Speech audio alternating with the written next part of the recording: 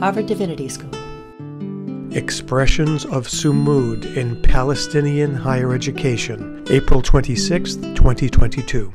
Welcome, everyone, to our final event in our spring semester series, Disrupting Injustice and Promoting Moral Imagination in Israel Palestine. My name is Hilary Rantisi, and I'm the Associate Director of the Religion, Conflict, and Peace Initiative, a program of religion and public life at Harvard Divinity School.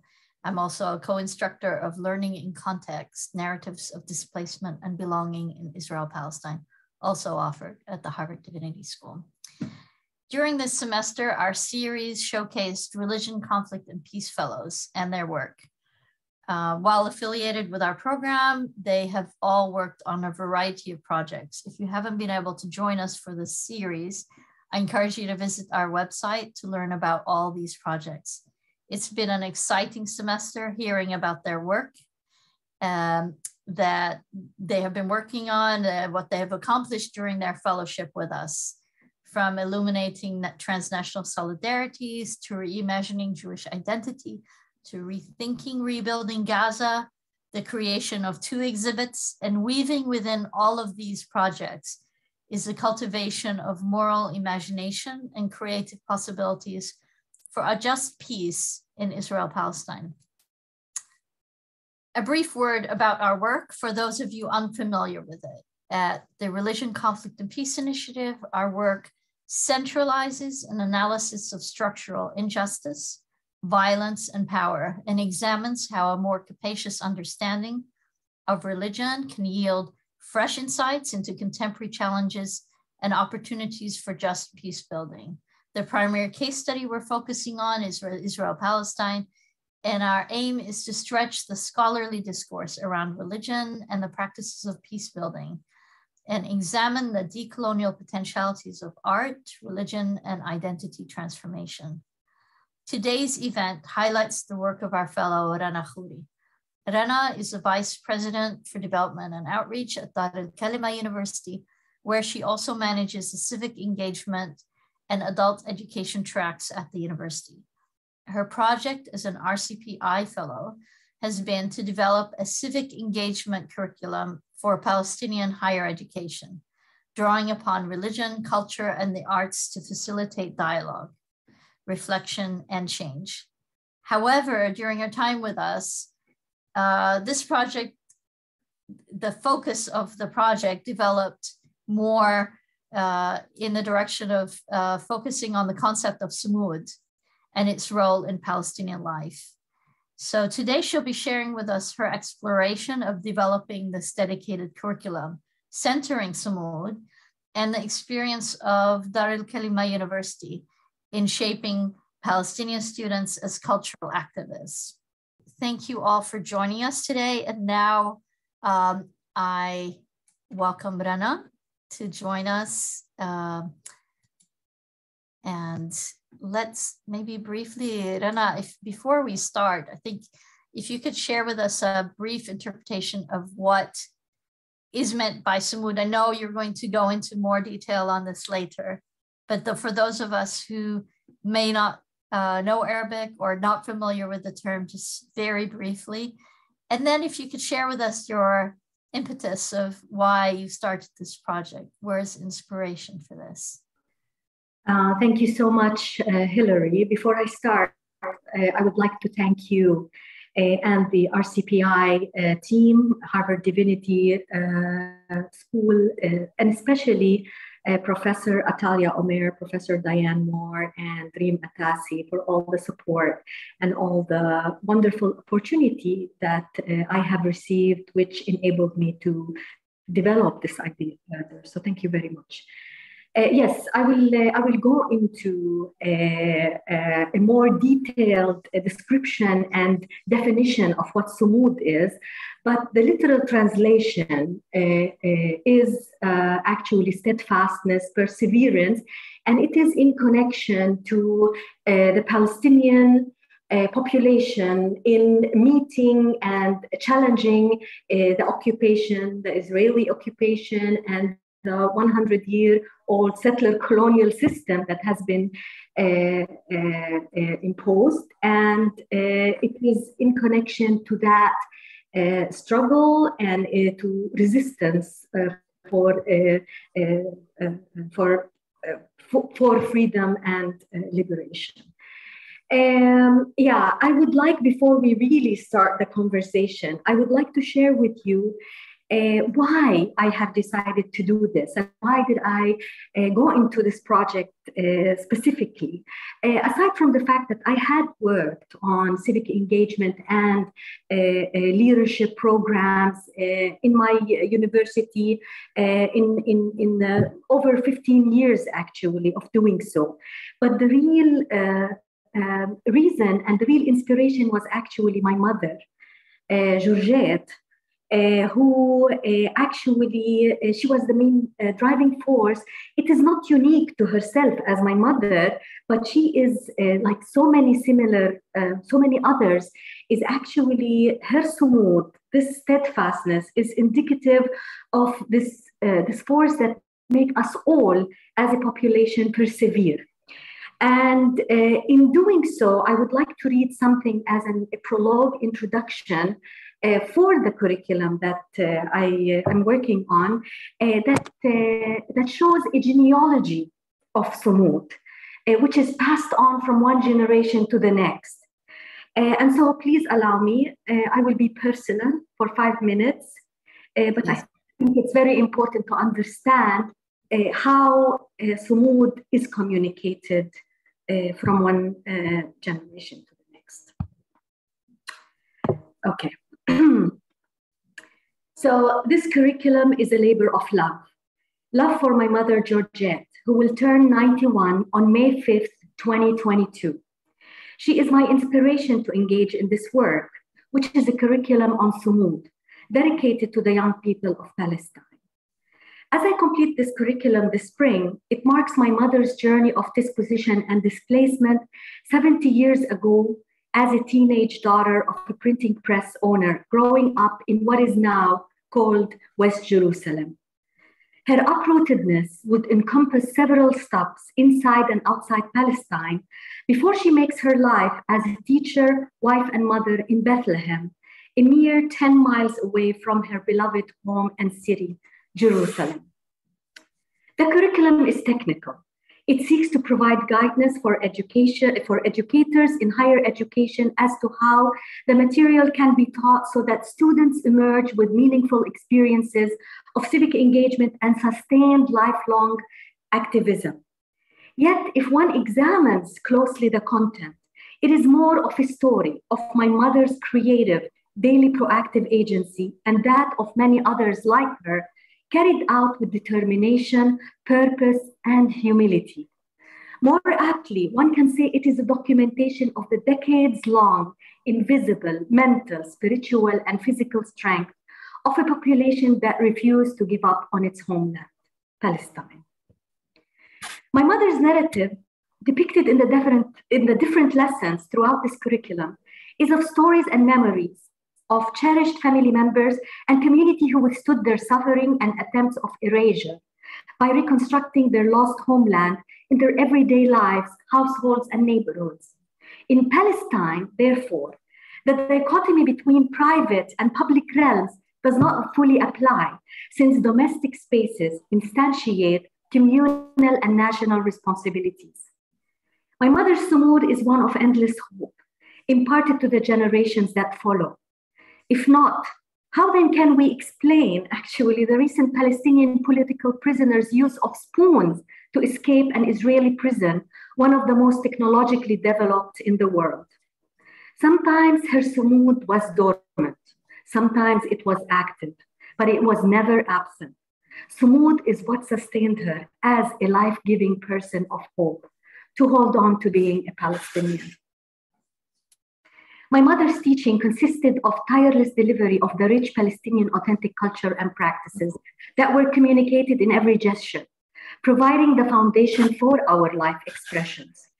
Portrayals of ordinary people and figures of a past era were sketched so distinctly that they remain relevant to our present day encounters My mother never ceased to speak to us about the house and neighborhood she grew up in, Al Baqa, even the tiles, actually, the, the look of the tiles, vividly describing the architecture of the stately homes and green streets that clearly conveyed people's appreciation of aesthetics, harmony with the environment, and a vision for a prosperous future.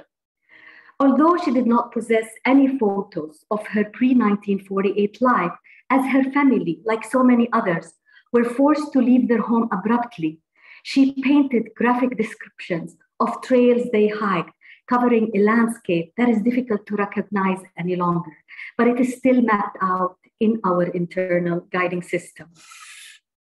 Her detailed accounts of local histories, including festivals and celebrations, made it possible for us to comprehend the genealogy of our presence within this place and grasp the miracles of this land when situated within contextual frameworks. A Palestinian wedding with its communal nature and al practice can actually have five fishes and two loaves, and no one will leave the table hungry. Food was central to my mother's sumud. Her passion for the Palestinian kitchen and its culinary delights bordered on the holy, captivating us with anecdotes and lineages as she provided a lengthy biography of every dish. After all, she was a school teacher of history and geography.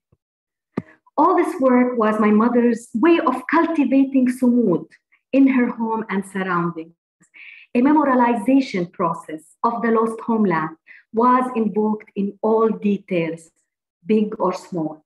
And it was weaved, they were weaved into our both our imagination and reality, so that Palestine would not be forgotten.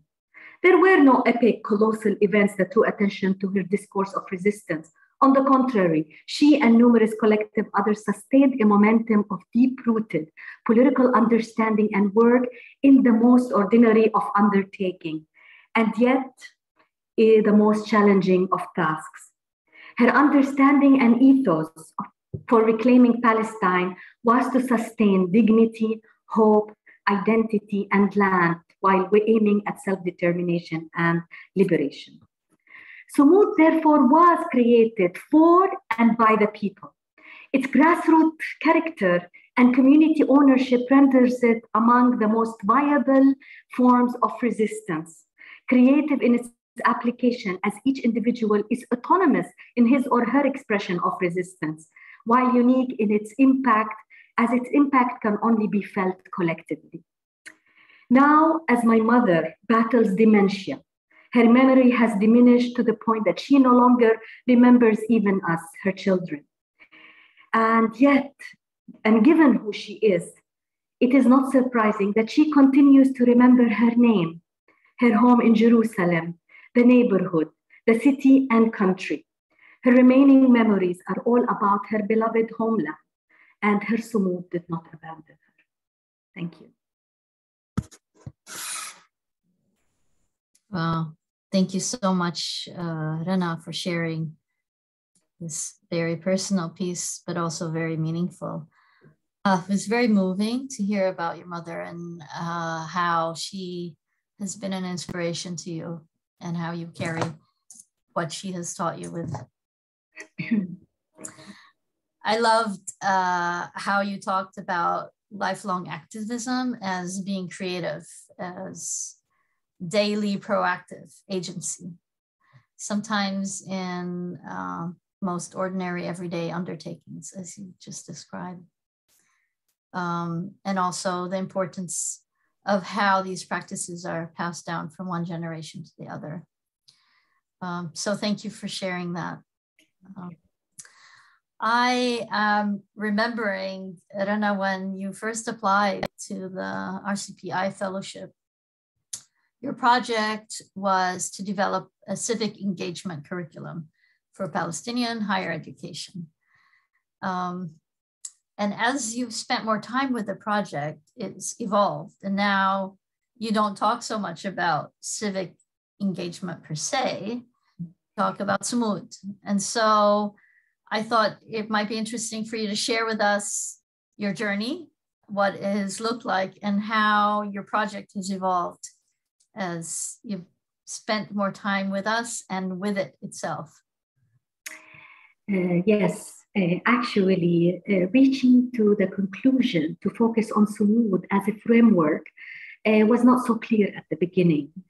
Uh, perhaps partly due to the popular perception of uh, Sumud as it became um, equated with resilience, and that in itself became the buzzword for uh, projects and donors and the development world of grants and so on and so forth.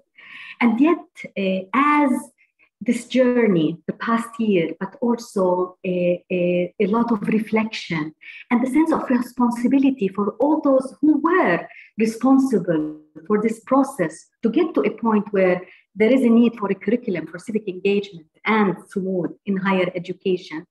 And those who will be involved in this process, including the students, the educators, the communities, uh, the universities themselves, I felt that there is a need to progress into this thing called Sumud as the framework. And uh, if you allow me five minutes of this journey of how it started and why it ended the way it did. Um, uh, actually, like I said, the original question was what approaches and practices are needed to include young people in civic engagement? And what would be the ideal space uh, that could nurture uh, uh, young people to claim their agency?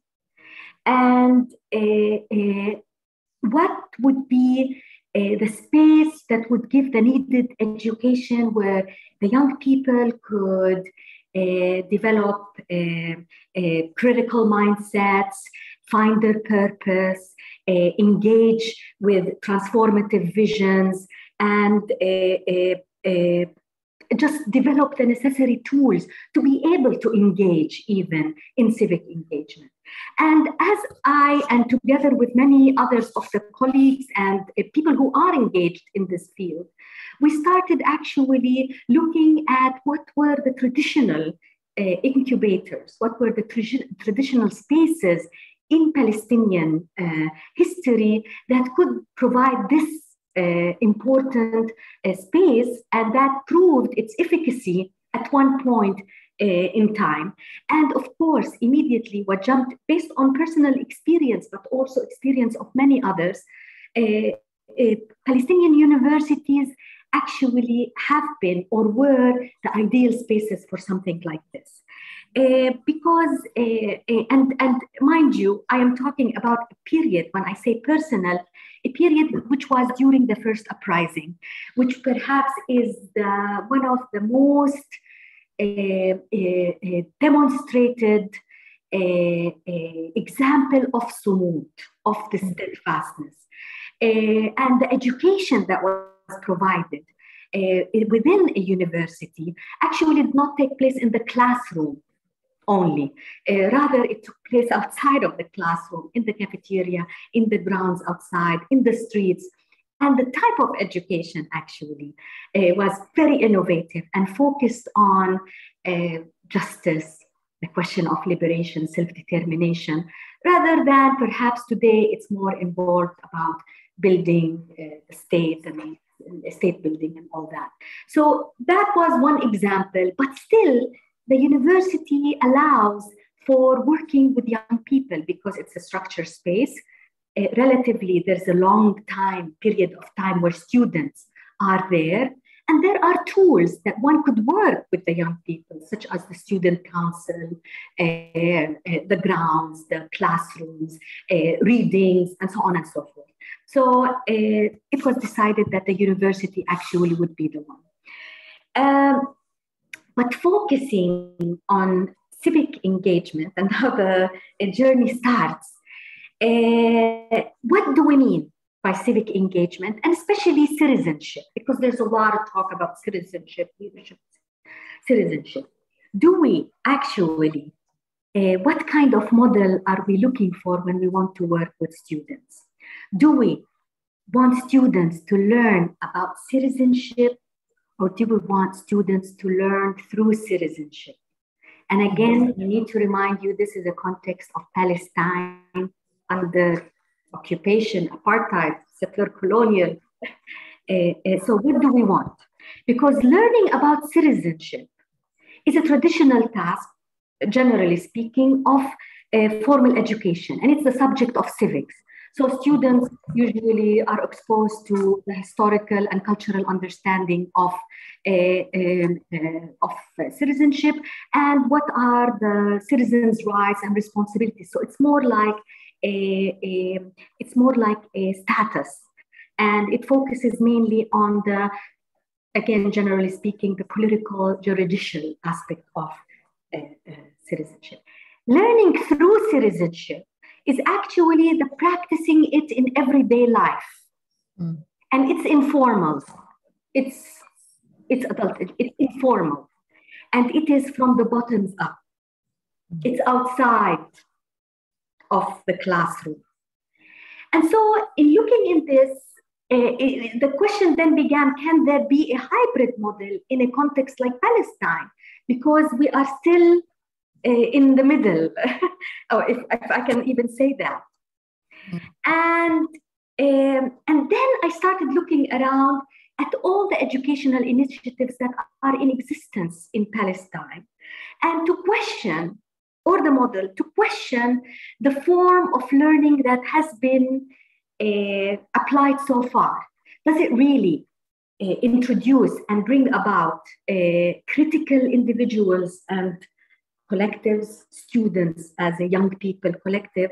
Or are we really, and the aim right now has become to channel a young person's agency, political agency, and agency into reproduction of the existing socio-political and economic order. Mm-hmm. What is happening? And as a practitioner, as someone who has worked with young people, I, I recognized uh, by working with them that uh, in order to empower for them to, to claim their agency, we have to use indigenous understandings of civic engagement. And that was based on an experiment that I would do with first year students. As they come in, the question would be uh, can you uh, identify, can you define what is civic engagement and can you define what is sumud? And students, when they're asked this question, مشاركة مدنية, مشاركة مجتمعية, the civic engagement, they would go into, oh, it's urban, oh, it's, uh, it's uh, funded, it's something outside. Mm. It is, I mean, there is no real understanding, really, of the concept. When I would ask about the sumud, they would say it is um, self determination, it is Eh, it is the land. It is a, empowerment. It's it's it's so it's all uh, uh, proactive. It's all in it's all symbolic of a, a, a of a, status that convey this this power of the word, of the concept. It, its dignity, it's the fallah, it's the refugee right of return. Very interesting when they talk about sumud. And, and, and therefore, and by, by spending this last year examining and studying actually the different theoretical fra- frameworks that address the context of Palestine and Israel, it became so clear all of a sudden, but through a long journey, that the only, uh, perhaps, one powerful paradigm that could meet and challenge the paradigm of the settler colonial that is being imposed on Palestine uh, is through the Sumud uh, paradigm. Not, and we will, I will explain now what it even means. But because of its uh, in, it's because of its connection to the land, because of its innate connection to hope, uh, it can be a, a, a, framework to use for uh, the civic engagement. I mean, it was interesting. The students would say civic engagement is something small, is something big. maybe civic engagement can be part of Sumud, but it's mm. never And therefore, the decision was like to make it the, the framework, the bigger framework. Yeah, thank you, Rana. That that's uh, really exciting to see the evolution of your thinking, but also how you engage students in conversation around these concepts and their response to them. Um, I I recall our conversation about your university experience during the first Intifada. I mean, when I asked you, you know, what was it in your education that inspired you and made you who you are to to be caring about these issues and you remembered those days from the first intifada and um, i think for many of us who experienced the first intifada the life uh, lessons and feeling of empowerment and agency that we felt is hard to forget and uh, remains a well of inspiration uh, I know it's true for me and one that I go back to uh, all the time for sustenance. So I can see how um, focusing on Sumud, going back to that well of inspiration, that hope that carries you through is is is in a way much bigger than a civic engagement and it's uh, more encompassing. So I mean, you talked about an indigenous understanding of civic engagement and Sumud as an innate connection to the land. Uh, I'm wondering if you could tell us more about that. Tell us about how you understand Sumud. Maybe you gave us a very brief sort of uh, introduction at the beginning, but maybe you can expand more on that and tell us more how you understand it. What does it mean to you? Uh, yeah, thank you, Hilary. Uh, it was really wonderful to connect with you actually on that period. And it, it, everybody has a story or two or five of that period. And uh, the impact is huge. It's, mm-hmm. it's life transformation. Yeah. And yeah, so what is Sumud? As, as you dig deeper uh, there isn't really, uh, I, it's difficult to come up with an inclusive, all encompassing definition of the term. I mean, the most literal that I just gave before, the literal translation is steadfastness or perseverance. And I said sometimes it is uh, translated into resilience. However, and here I, my apologies, I don't want to reduce it to a sentence about what is resilience. But uh, uh, that word particularly has its problems, especially Uh, uh, uh, if because it's seen as conforming to a neoliberal a view of how individuals and societies behave during crisis or and so on. And this is a different situation, Palestine. Um, also, uh, resilience usually it is uh, uh usually more of a state of mind, whereas sumud it's both a state of mind but also orientation to action. Uh, when looking through the literature and personal interviews and and and really, what is sumud? Like you talk to people and you see even uh, as if like they are physically transformed I will not say who, but like you say the word and people just uh, are alive and hopeful.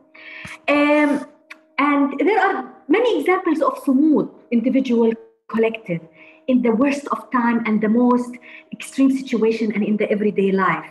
And multiple ways but it is always in the presence of it's it's mentioned and the ways in the presence of the occupier and to resist oppression. And it could mean the everyday practices that we engage in as the population that create and cultivate spaces to devise strategies that contest the oppressor's uh, authority. Crossing checkpoints. Going harvesting the land, uh, defacing the wall, a lot of that. Sumud can also be uh, identified with active political agencies uh, such as the Intifada, the popular resistance, a political prisoner strike, when they, they take the fasting for tens and hundreds of days, uh, uh, creating and establishing solidarity economies or local economies. Uh, it can also be considered as a mental state of strength. And it's translated into not accepting the status quo, maintaining hope, maintaining humanity, and always trying to go to the moral higher ground. And it can also be a cultural value and cultural forms, dance, heritage, traditions, festivals, uh, uh, uh, all in some one way or another also connected to the land and staying put despite continuous assaults, they, staying steadfast. A cultural strategy of memorialization. So it's not one thing or another. And with the sumud, there comes a lot of symbols and icons actually. One is connecting, connecting with the land, the land itself, but in connection with the land, it's the fallah, the farmer. It is the olive tree. It's the mother in connection with Mother Nature and the land again. It's the refugee, and so on. So when looking at this, and I went through different phases as to then how to explain it, I could see that it is actually the most appropriate uh, description or term that can be given to uh, uh, Sumud is that it is a form of indigenous lived philosophy mm. of Palestinians. Wow. But, uh, you know, as you're just speaking now, all the different examples that you gave are uh, so inspiring. And yes, there are so many stories that connect all of them. I, I love the idea of the indigenous lived philosophy. Um, and as you were speaking, and as we were just speaking right before this started, I connected with something that uh, we just read for a class uh, um, that quotes Edward Said's words on Palestinian existence. So, if you don't mind, I'd just like to read it and see um, how you see if it connects to sort of this idea of indigenous lived philosophy. So, um, Said writes the essence that the essence of the Palestinian experience is simultaneously the colonization of Palestine and Palestinian resistance to that colonization. It is a struggle, he says, between a Palestinian presence and the Zionism that seeks to cover over, eradicate, or erase that presence. Palestinians' affirmation of their own existence and their insistence on remaining in Palestine confounds the colonial narratives that seek to define them only as impossible, irrelevant, troublesome, or problematic. Um, for me, this speaks a lot of what you had shared in terms of all the other descriptions, um, but also connecting it to sort of this, this indigenous lived philosophy. I'm wondering if how see these words connect to um, to to your approach to how you see sumud and would you would you agree would you add to this um mean, he is written he basically he put his finger on on, on it. Because because uh, uh, the idea is that as the people uh, are rooted in the land they derive their resistance actually and the strength to maintain the land, the identity, the community from that indigenous knowledge, history, faith, way of life that we call sumud.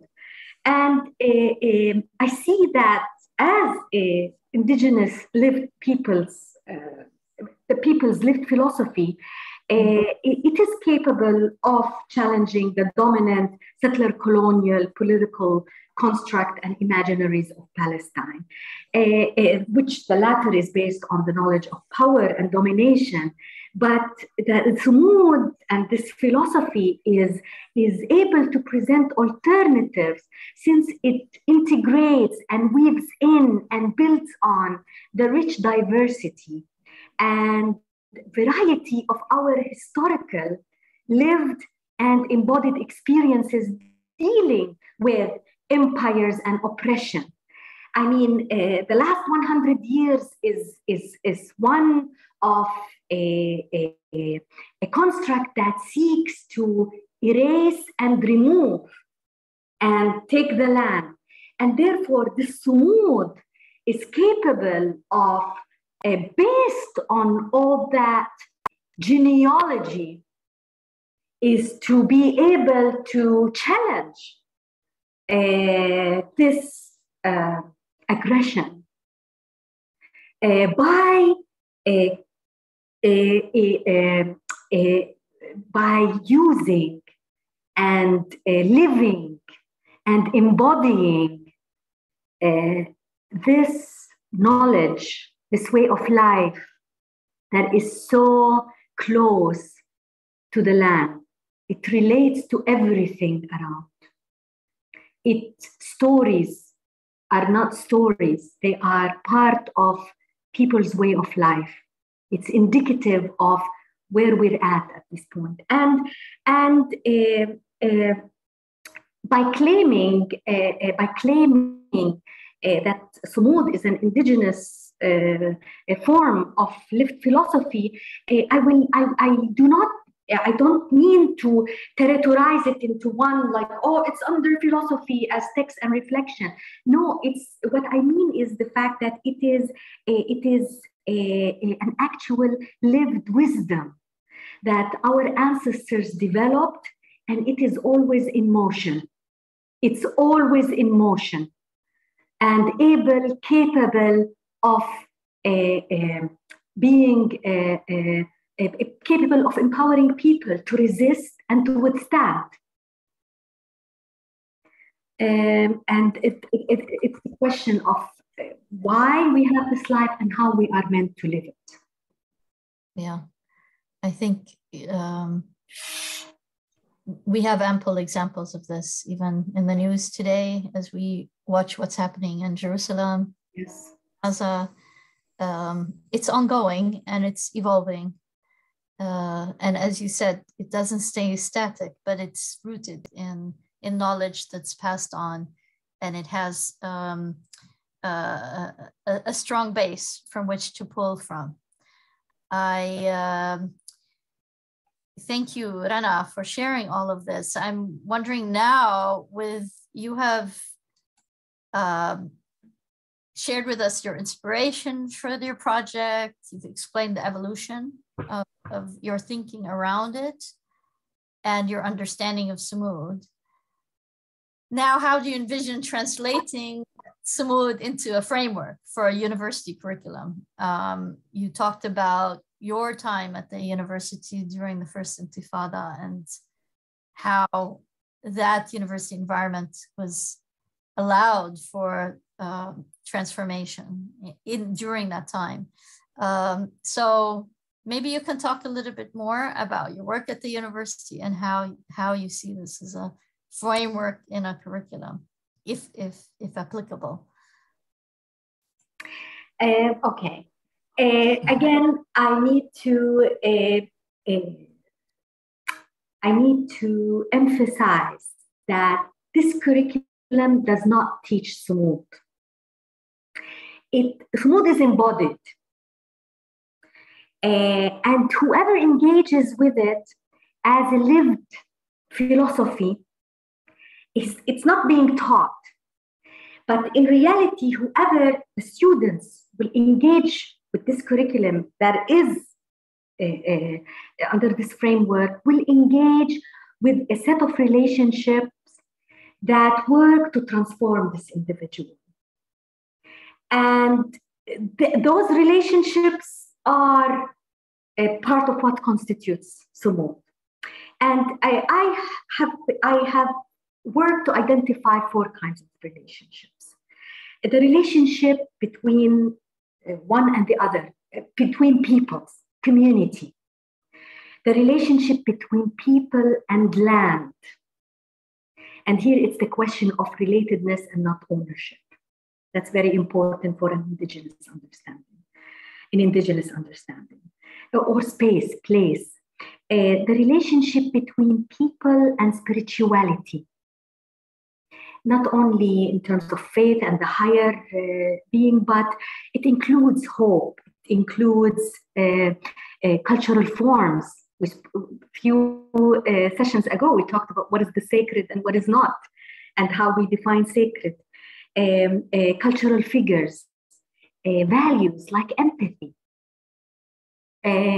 love, and so on. And the last is the relationship to self so uh, these relationships inform the learning outcomes within the five axes that uh, I had based the curriculum on, the five that the students will be exposed to.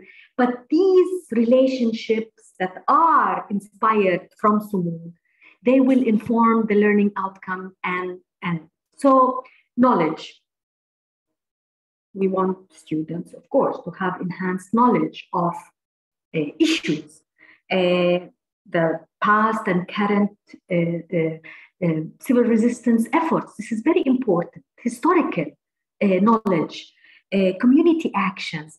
Eh, first Intifada, for example, eh, eh, stop the wall initiatives like Budrus village, Bil'in, Bab al-Shams village in 2012. These are important stop uh, important uh, examples of resilience in the Palestinian sense of sumud and action. Uh, currently, the BDS and so on. Uh, but also, uh, students, I would want to, ho- to hope that they would have more knowledge of the systems that uh, uh, uh, the constructs, the paradigms that actually affect their lives. Mm. So they need to be more aware and, and, and knowledgeable about these. second axis is the skills. The skills uh, in terms of uh, communication, how they're able to debate, advocacy, meditation, but also reflection and storytelling. This is very important. The third, and that's uh, perhaps one of the critical axes that had affected my own life, which is the community service. In recent years, for universities, community service means internship, which is completely not the case in the past during my time at the university. Community service was fieldwork where groups would go as collective, employing the concept of al-awni, interdependence, communal interdependence, to harvest the land, to, to help with, the, with building a house, and so on and so forth. And they were able to travel beyond their immediate scope. So we would go from one town to the next. Uh, and, and that in itself was very educational for a, a, young person to be able to be exposed to a different uh, community and to be engaged in this sort of teamwork. And, and that will be a very important element in this education. The fourth is community building. Again, this is an important uh, part uh, in, in the sense of it's a question of identity, establishing trust among the different communities, this travel back and forth to be exposed to the different issues that each which, which in the past 20, 30 years with the wall and the checkpoints and so on, Palestine has become fragmented in the sense we hardly get out of the 10 mile zone. Uh, and so this would be a very important mission of the curriculum to enable the young people to uh, build uh, communities beyond the five mile radius. And and with community building also, it will be very important to look at the spaces. How do we relate as we look at community, the spaces that we have around us? So that, for example, a cafeteria of the university, it's now currently seen as a food court. This was not the case. Cafeteria was a hospitality and a place for debate. Mm. So it has to be reorganized in such a way that it becomes a hospitality, a location, and a place for debate where outsiders can be invited to speak about issues and to and to meet the different peoples. And uh, the last thing is the action, where every student or a group of students will be responsible for creating initiatives and uh, films. As a, as a university of the arts, it will be more in the fact like film, art education, and so on and so forth. Um, uh, so uh, the curriculum, uh, if you allow me just a few more minutes to speak about. So uh, uh,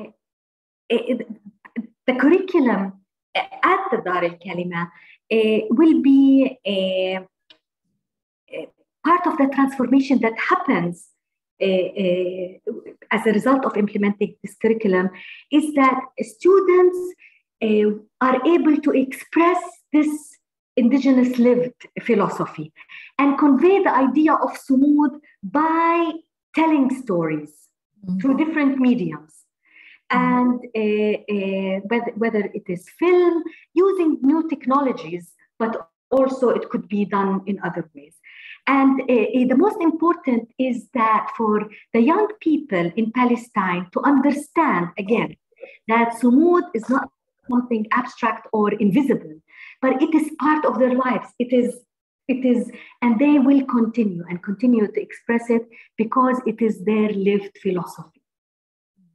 Mm-hmm. And that's the idea behind it. Yeah, yeah.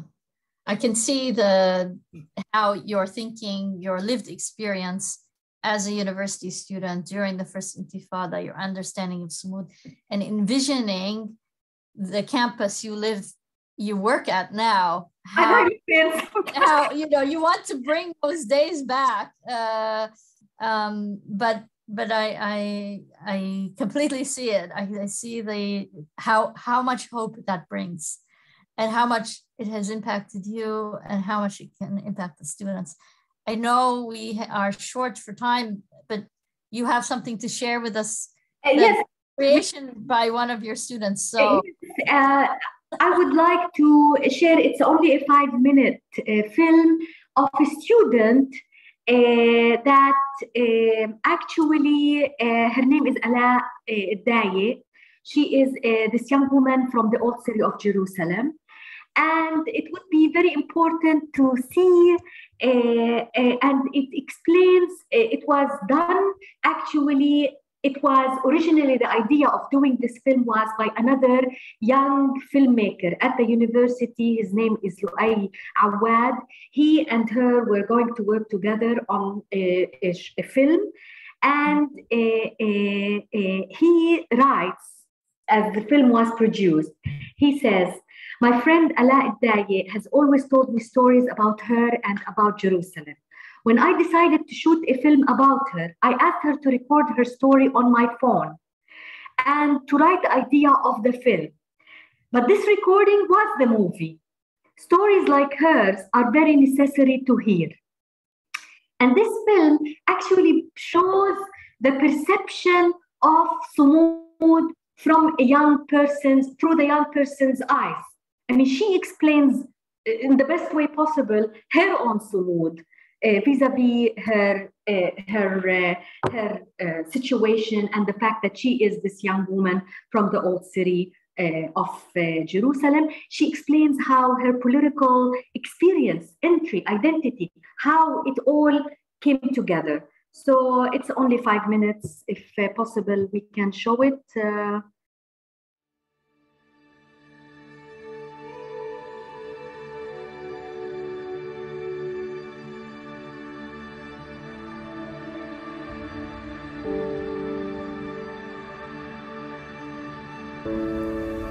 من طفولتي حياتي في البلدة القديمة فرضت علي أفهم السياسة منيح محدش كان يفهمني سياسة بس الحياة اللي كنت أعيشها كانت تفهمني كل شي.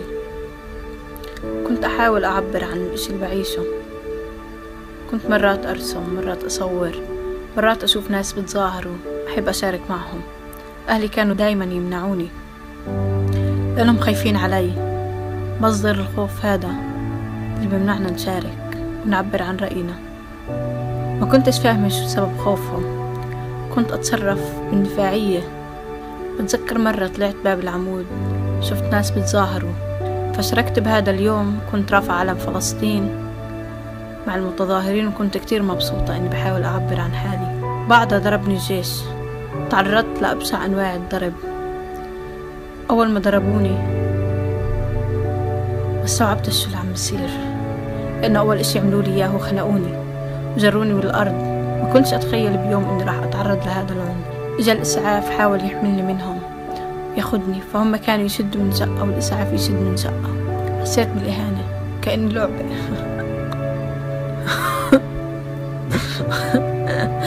بضحك لأنه الإشي جد كتير بضحك. كأني لعبة كل واحد بشدني من شقة. بالآخر نجحوا المسعفين يحملوني وقعدوا يركضوا في بعد تقريبا ثلاث سنين كان في مظاهرات قدام باب السلسلة لأنه الجنود رافضين يفوتوا أي حدا من الفلسطينيين عشان يصلوا بالأقصى. وكان هذا الإشي بيستفز مشاعر الناس الموجودة. كانوا يتظاهروا فأنا وقفت جنبهم. ما شاركت معهم بس كنت حابة أكيد أكون موجودة. فانهالوا علي مجموعة من الجنود والقوات الخاصة. والشرطة مسكوني. بدوا يضربوني. صعبتش كمان شو اللي بصير قعدوا يخنقوني. بطبيعة الحال أنا ما كتفتش إيدي. ما عدتش أتفرج عليهم. هم يضربوني. أول ردة فعل إلي كانت. بديت أبعدهم عني. بيدي وبجري. وزادوا بضربي. فوتوني على المخفر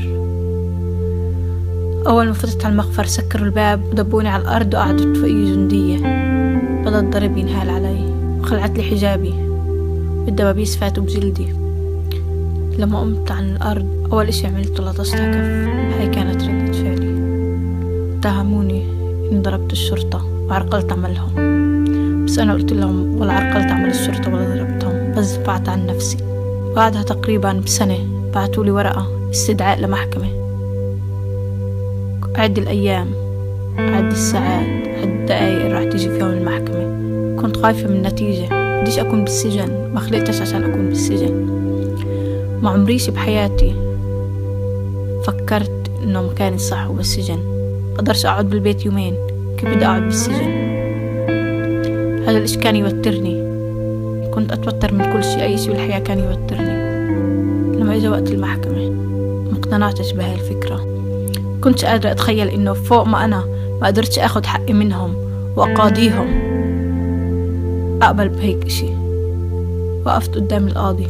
وافقت إني أشتغل وافقت على العقوبة. بس عشان أخلص من هالمحاكم أخلص من هالقرف. وأكمل حياتي. وأقدر أتعلم. لأنه هذا الموضوع كتير بشتتني. كرهت كل شي. كرهت السياسة. كرهت أشوف الجيش كرهت أشوف المستوطنين كرهت أشوف الإعلام كرهت كل شي مش هذا الإطار بدي أكون فيه. فرحت انتقلت لبيت لحم. كنت أقضي, كتير وقت مع حالي. أعمل بس إيش بدي. أفتح شباك الصبح ما لاقيش قدامي جنود. ما لاقيش قدامي إعلام إسرائيل. بس كمان بعد فترة حسيت حياتي فاضية. مش هذه الحياة اللي تربيت عليها. تربيت إني أطلع على شوارع القدس كل يوم. تربيت إني أقعد بالشارع أكون قريبة من هاي المناطق اللي بحبها وبتحبني لهيك بالآخر قررت أرجع. قررت أرجع. أتحمل كل شي بصير بالبلد. قررت أعيش دون هذا الواقع المفروض علي. وتأكدت إنه وجودي بالقدس لحالة مقاومة.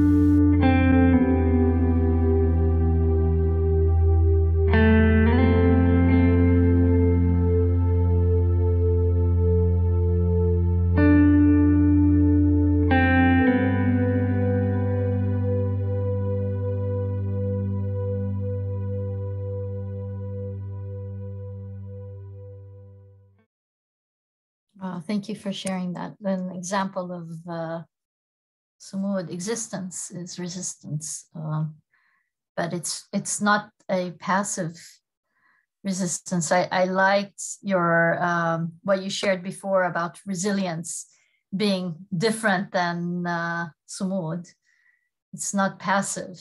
Um, often resilience is seen as passive, but res- uh, Sumud has the active piece to it. In this case, you have a young woman who has uh, decided to defy everything to to to exist in a situation that's very difficult but it's she has the strength from the community from um, what she learns from people around her to strengthen her to continue but she came to her own conclusion.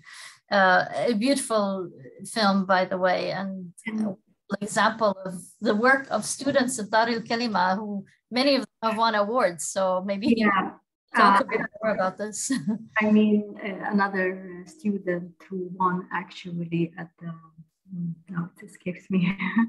The exact award, but at the um, the festival, the big festival in France. and, uh, it's it's a film called Ambiance, which actually Mm. talks about life within the, the Dheisheh refugee camp. Again, it's another example. Uh, what is interesting is that like she's 19 to have had this sort of uh, transformation is really remarkable. And for example, Ala, uh, just to connect to the other uh, colleagues who presented uh, earlier, Ala is one of the six now. So, she, it's not only that she is in uh, uh, the old city of Jerusalem being steadfast, but she's actively also sharing other stories. So, for example, she's one of the six students who are working with uh, uh, uh, the, the, the uh, where Ariel weeks That's back Southern about Hills of military at the southern hills of Hebron, where all the students are collecting uh, uh, the uh, archives of, of that uh, struggle and actually also uh, uh, making different films about the, the, resistance uh, of uh, southern hills of Hebron. And so, and so it, it is really uh, this sort of engaged uh, young people that we see uh, uh, to, to be able to narrate the story, their stories basically, in this way to be able to reach out and tell and tell of also this amazing philosophy uh, that sustains and keep people uh, uh, uh, hopeful. Yeah, wonderful. A wonderful note to end on, and I uh, look forward to seeing. Thank you, Rana, for taking us on this journey with you. Thank you so much. Forward to learning more about Sumud and recognizing it more in the many of the stories that we hear and the people that we meet. Thank So you. thank you, much. Everyone, thank you, Rana, and uh, thank you for ending our series in such a wonderful way. Thank you, Rana. Bye bye, everyone. Sponsor Religion, Conflict, and Peace Initiative. Copyright 2022, the President and Fellows of Harvard College.